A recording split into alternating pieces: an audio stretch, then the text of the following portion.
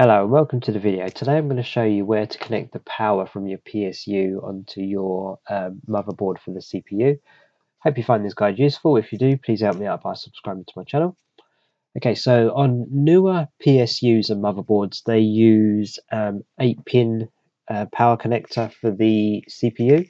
So you can see here, the cable that comes out of your PSU, it will be marked CPU, which we can see here this is an 8 pin. If your motherboard has actually got a 4 pin connector, you can actually um, take this apart so it only uses 4 pins if you've got an older motherboard.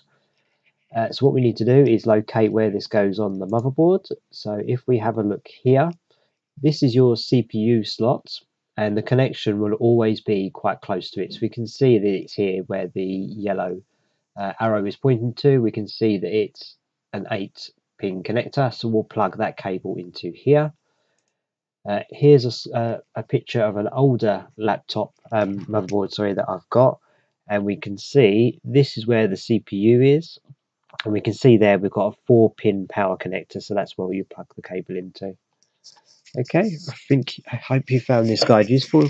If you did, please help me out by subscribing to my channel. But thanks for watching. I'll see you in the next video.